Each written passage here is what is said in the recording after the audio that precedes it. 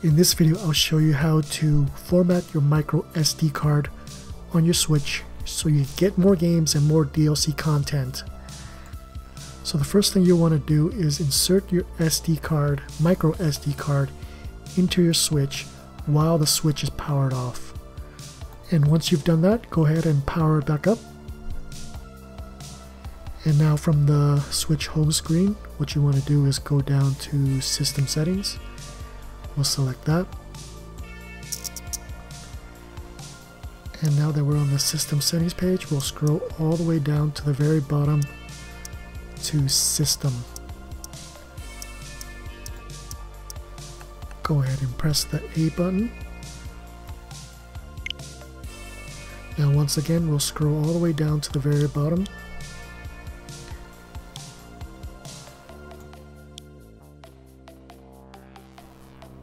Until you reach formatting options.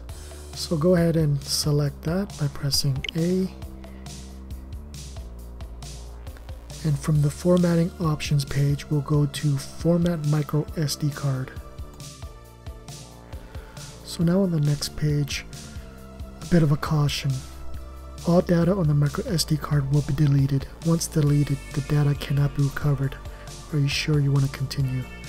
So if you're ready, go ahead and hit the format button.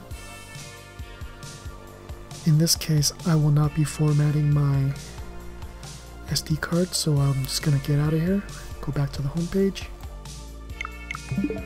So I hope this video guide was helpful. If it was, please hit the like button. Thanks for watching.